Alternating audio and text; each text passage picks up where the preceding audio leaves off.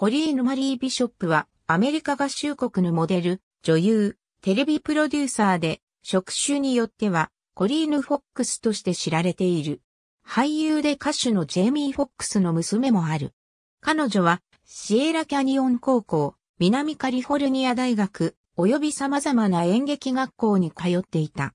フォックスはロサンゼルスでジェイミー・フォックスという芸名で知られるエリック・マーロン・ビショップと彼の元ガールフレンドであるコニー・クラインとの間に生まれた。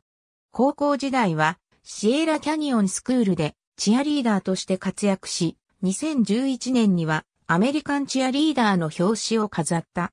彼女は南カリフォルニア大学に通い、2016年のクラスに所属していた。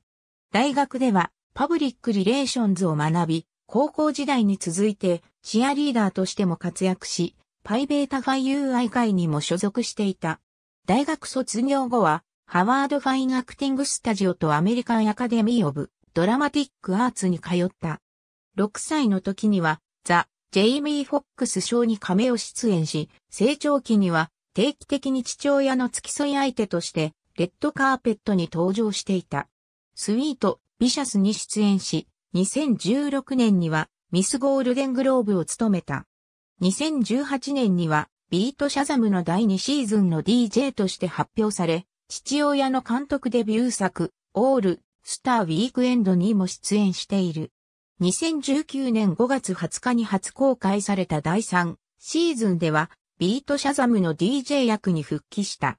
2014年11月に開催されたバルデデビュッタンツで正式なモデルデビューを果たした。2014年にモデル活動を開始した彼女は、ラルフ・ローレンやドルチェガッバーナ、ケネスコール、ウェット N、ワイルド、コスメティックスといったブランドを担当している。2016年にはカニエ・ウェストのイージーラインナップのために歩いてニューヨークコレクションでデビューし、2017年9月にはシェリー・ヒルの2018年春のラインナップのためにニューヨークコレクションを歩いた。2019年にはホラー映画の続編、海底47メートル古代マヤの死の迷宮でサーシャを演じた。2014年末から2015年にかけて父親の出生時の姓であるビショップを名乗っていたフォックスはフォックスという姓を採用した。ありがとうございます。